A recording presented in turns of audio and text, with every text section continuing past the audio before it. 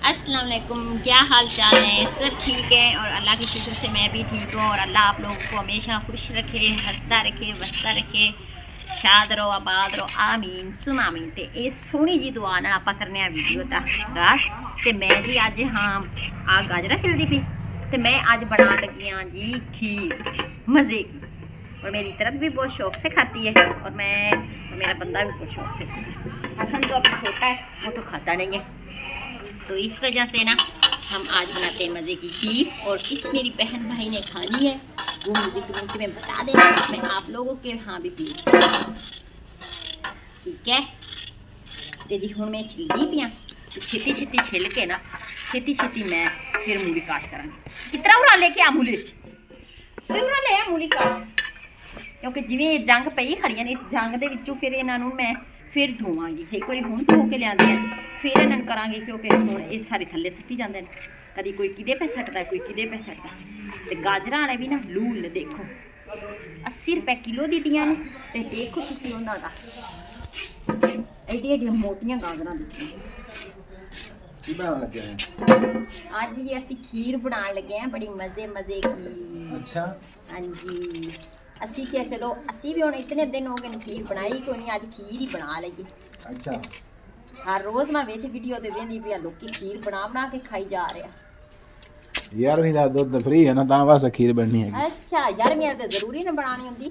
ਵੰਡਣਾ ਵੀ ਹੁੰਦਾ ਹੈ ਖੀਰ ਖੁਦ ਵਾਸਤੇ ਵੀ ਅੱਲਾ ਕਹਿੰਦਾ ਹੈ ਕਿ ਯਾਰ ਵਾਲਾ ਇਹ ਨਹੀਂ ਕਹਿੰਦਾ ਸਾਰਾ ਵੰਡ ਹੀ ਦਿਓ ਖੁਦ ਵਾਸਤੇ ਵੀ ਉਹ ਆਂਦਾ ਰੱਖ ਦਿੱਤਾ। ਚਲੋ ਠੀਕ ਬਣਾਓ। ਅੱਲਾ ਹਾਫਿਜ਼। ਲੈ ਜੀ ਆਪਾਂ ਕਰਨੇ ਮੂਲੀ तो छेती छेती करके ना, मुझे कट करके तो टाइम ना धरने को कह दे रहे जो ते बलत है गोरे मेरे वाले पीले थे इस वजह छतिया भी कोई नहीं तो मैं के जल्दी जल्दी करके ना बना दी है। फिर बच्चे का भी रोन, शाम के टाइम बच्चे भी बड़ा रोंदे हैं।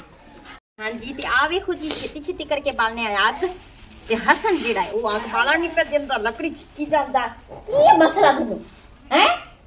ठाक छेती छेती करके आप आग बालने ਤੇ ਜੀ ਛੇਤੀ ਛੇਤੀ ਕਰਕੇ ਪਕਾ ਲਈ ਤੂੰ ਤਾਂ ਹਨੇਰਾ ਪਿਆ ਹੁੰਦਾ। ਤੇ ਲੈਟ ਵੀ ਇੱਥੇ ਹੈ ਕੋਈ ਨਾ, ਤੇ ਹੈਣ ਵੀ ਨਹੀਂ ਰੇ ਕੰਡੇ, ਹੱਥਾਂ ਦੇ ਉੱਤੇ ਲੱਗਦੇ ਨੇ।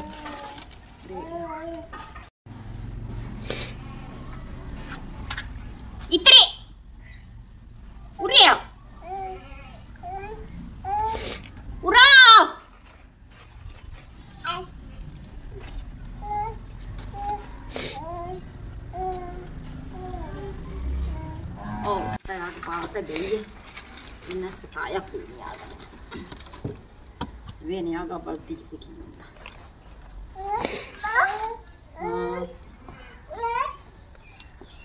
वेखे ना सारे बाजू गिले हुए खड़े चल तेरे कपड़े बदला ठाडो हो जा सी गई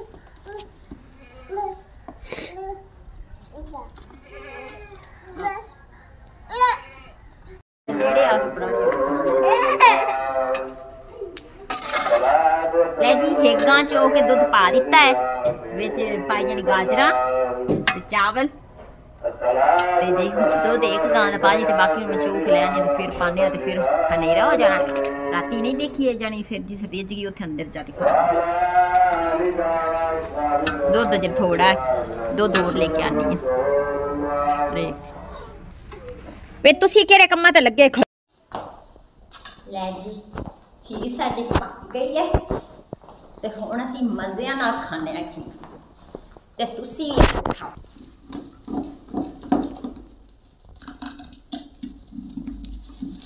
ਇਹਨੂੰ ਕੱਟ ਕੇ ਛੋੜ ਕਰ